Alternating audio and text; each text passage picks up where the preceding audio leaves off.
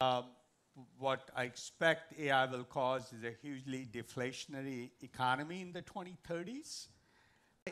I think it should be hugely, I hope it's deflationary. But all of the excess wealth that's going to get created will need to go somewhere.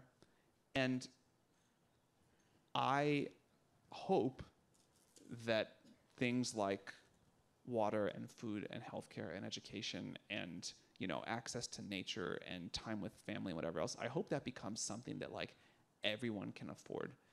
And then that we all find the silliest status games to play and go bid up you know da vinci paintings to a trillion dollars or whatever or galaxies to a quadrillion dollars um, to make it so that people who like want to play status games and want to create value for other people and want to have something for bragging rights basically get to go do that. Um, but but i think it is an interesting question about like if we want everything to deflate wildly if we want everything to get super cheap and people are you know wildly ambitious and creative and like being useful to and going to work hard and we're going to have some way to keep track of that where is the excess wealth going to go?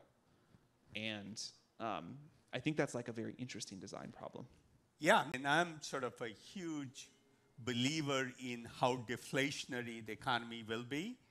And if it's a good measure of GDP, which I don't think it will be, how we measure GDP growth, which I think will explode. So you'll see these two things happening at the same time.